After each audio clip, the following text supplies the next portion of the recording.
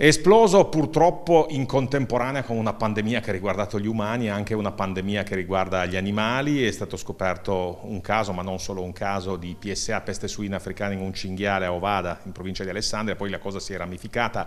Intanto a che punto è la situazione? Cosa chiede la CIA di Asti per arginare il problema che rischia di diventare veramente grave? Sì, eh, noi come CIA Agricoltori Italiani di Asti intendiamo innanzitutto fare una precisazione e tranquillizzare i consumatori che la peste suina non si trasmette all'uomo e che quindi tutti gli allevamenti hanno un altissimo standard eh, di qualità e di sicurezza per cui non ci sono pericoli per i consumatori.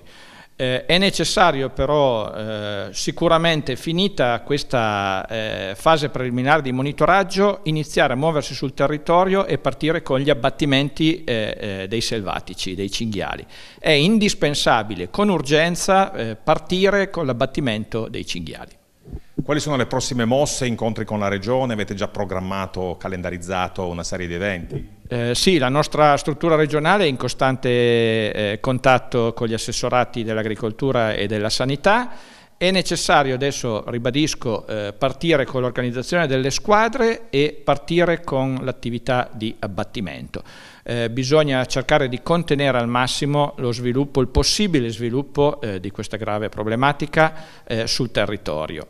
E quindi è necessario con urgenza attivare le squadre, magari chiedere anche il supporto alle altre province delle persone che sono titolate ad abbattere i, i cinghiali per venire eh, nell'Astigiano, nel Cuneese, nell'Alessandrino ad abbattere la maggior parte possibile dei cinghiali.